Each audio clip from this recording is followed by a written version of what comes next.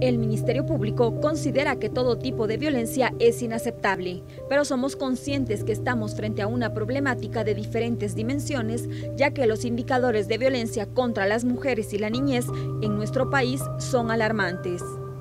Es por ello que se muestra la urgente necesidad de monitorear la implementación efectiva del marco legal de protección y asumir los retos que aún están pendientes para lograr que las mujeres y niñas cuenten con acceso a la justicia como un mecanismo para acabar con la violencia ejercida en su contra.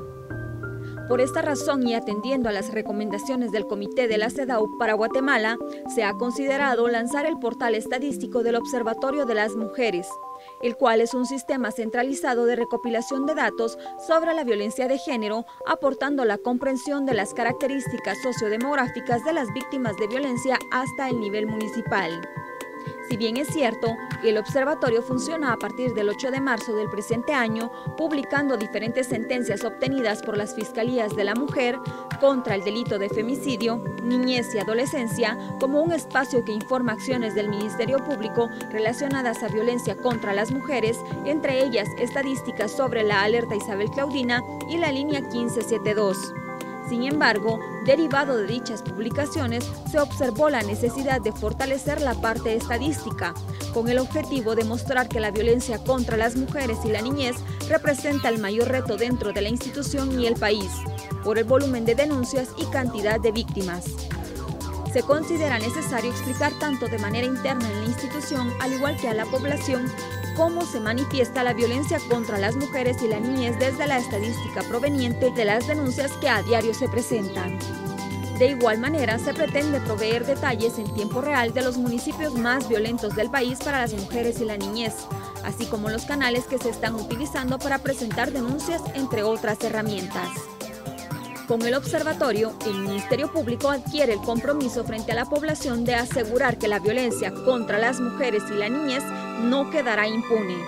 Esto se logrará gracias a la denuncia y a las consecuencias en tiempo real que el sistema público de justicia dicta a los agresores.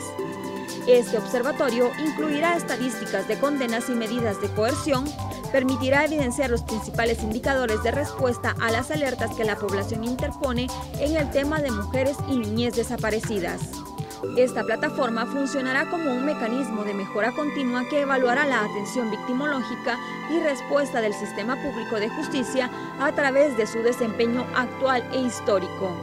Finalmente, permitirá promover la transparencia y la auditoría social de la población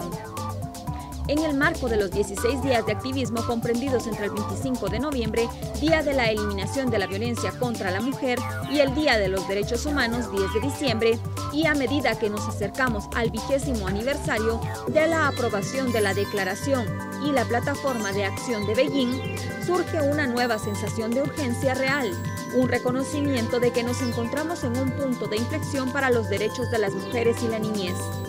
un reconocimiento de que lograr la igualdad de género, el empoderamiento de las mujeres y los derechos humanos de las mujeres y las niñas debe ser una tarea urgente y fundamental.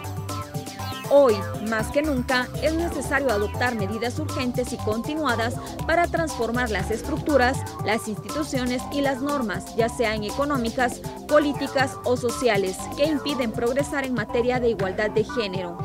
Estos cambios sistémicos deben ser profundos e irreversibles.